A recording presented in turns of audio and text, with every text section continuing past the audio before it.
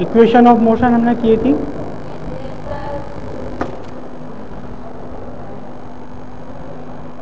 First equation.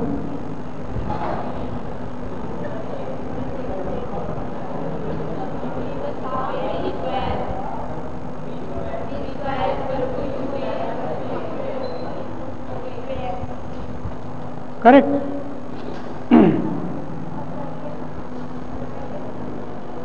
अब इस equation को यूज़ करेंगे। न्यूमेरिकल्स करते हैं। इस इक्वेशन को यूज़ करेंगे। और उससे पहले कुछ एक दो पॉइंट हम लिख लेते हैं। फ़र्स्ट पॉइंट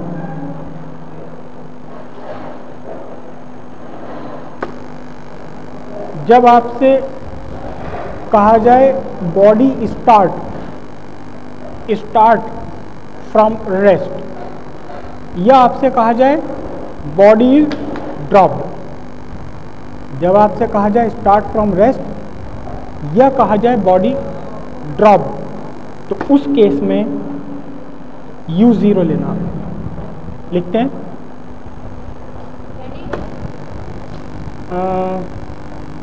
हेडिंग क्या लिखेंगे इसकी? नोट नोट नोट नोट तीन हज़ार रुपये का। नहीं, चार हज़ार रुपये का नोट है ये। हम्म? चार हज़ार का नोट नया। चार फ़र्स्ट पॉइंट लिखते हैं। When body start from rest when body start from rest when body start from rest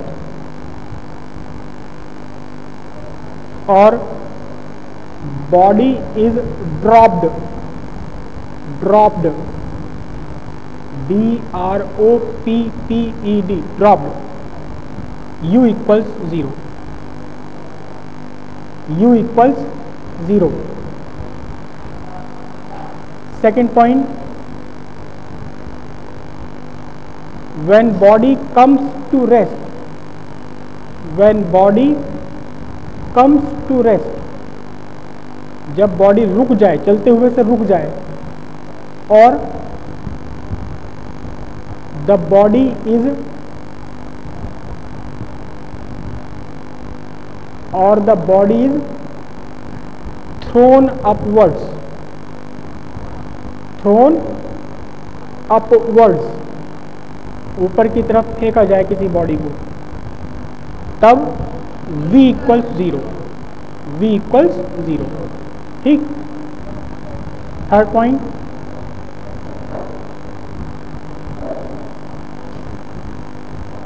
when body is dropped when body is dropped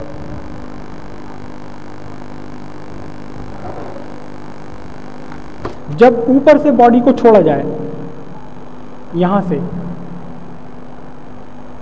तो S इक्वल्स एच और A equals G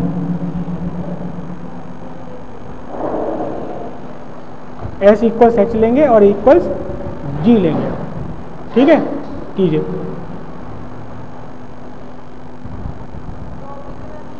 हाँ when body is dropped S की जगह H लिखा जाएगा और ए की जगह जी लिखा जाएगा, जिसकी वैल्यू होगी 9.8 metre per second, per square second. Okay next if body is thrown upwards if body is thrown upwards if body is thrown upwards, s is equals to h a equals minus G A equals minus G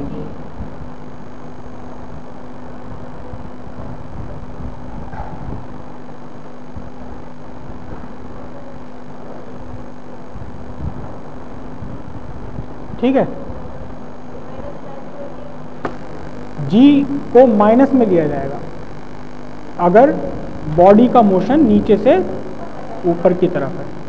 ऊपर से अगर आ रही है तो जी की value plus में ही ली जाएगी। ठीक है?